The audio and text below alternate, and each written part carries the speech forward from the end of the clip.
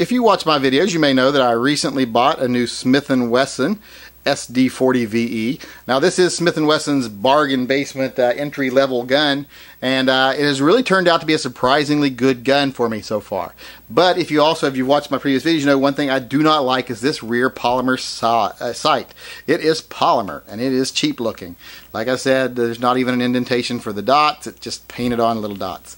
So I went out and luckily I was able to get, I was making an order the other day and I had a 10% off coupon, or actually I had a 15% off coupon for Midway USA, but you had to spend at least $100. Well, I was only at like $98. So I found an M&P rear sight for $16, which pushed me over the $100, made me able to use my coupon, and so I actually ended up paying about a dollar for this sight. So for a dollar, I'm going to be able to upgrade this. Now, if you don't have a coupon like I had, and you're not already ordering $100 worth of stuff, it'll cost you like 15, 16 bucks to upgrade. But for me, it's costing a dollar. So I'm going to take this one out and put this one in and see if it makes a big change in the gun. Okay, I'll tell you right off the bat, I am not concerned about damaging this uh, sight when I take it out because I have no intentions of keeping it or ever reusing it. So I'm just going to tap it out here with a brass tap.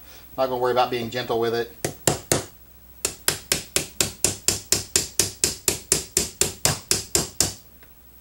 I believe the Spanish would say that is El Cheapo. That is horrible. I'm going to get rid of that and put in my new uh, rear sight for a Smith & Wesson M&P that I purchased from Midway USA.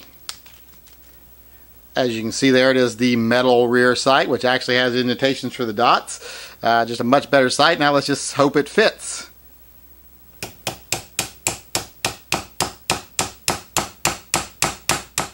Now I'll just use my little BJ machine here to make the final adjustments to the rear sight here. Now I just have to put the set screw in. Get that started. There we go. They got a little red Loctite on there so it's a little hard to get it started. But I don't want to put it down too tight because I am going to have to adjust this at the range. But there we go. Got it on. Okay, it is on the gun there now, and as you can see, thousand percent improvement. Looks much better. Even got a better sight picture now.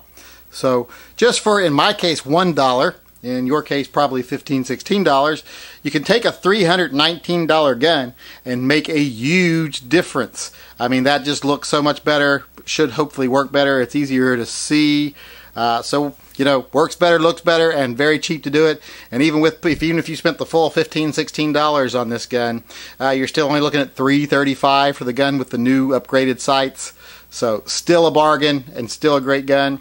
So glad I took care of that little issue because now that won't be bugging me